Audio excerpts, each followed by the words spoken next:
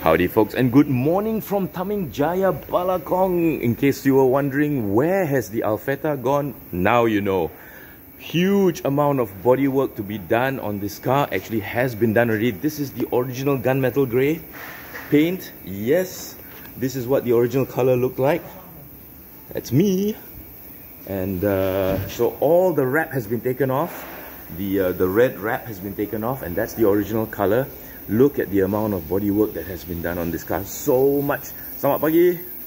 Look at that. And it's still not done. A lot of body work went into the back. So much. Unfortunately rust. Yeah. So while the sticker wrap did protect the paint a little bit it wasn't enough. There was so much more to be done. So this is a huge amount of body work. Some of the body work actually looked like this. Yeah, no joke. So, ton of work to be done. This is uh, this is by far probably the most extensive restoration of any car that Kenzone has done in Kenzone Taming Jaya.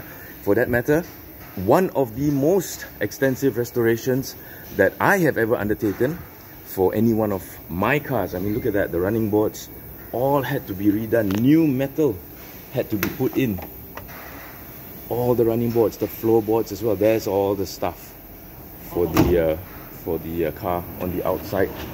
So the car has been here about a month already, but uh, it's still a long ways to go. Still a long, long ways to go, and uh, I'm very excited to see what the car is going to look like. Stay tuned. Lots more to come. Some of my viewers' cars are here as well, but uh, the main biggest job and according to Ken, according to Ken, the five, five, five body workshop Sifus came to see this car and didn't want to do it because it was just so much. A lot of bodywork places these days, they like to do fast jobs, fast jobs. This, this would have taken too long. But we just finished the bodywork. We just got the bodywork done. And uh, there's, there's my, there's my boot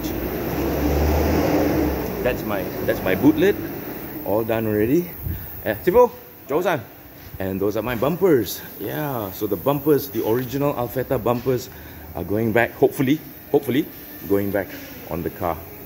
Amazing. So so much banyak kerja Sifu banyak oh ini.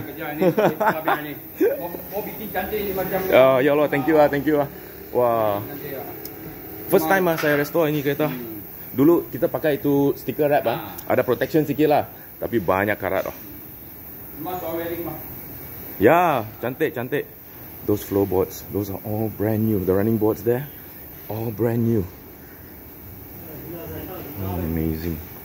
So anyway, stay tuned. There's lots more to come from the Alfetta as she gets refurbished.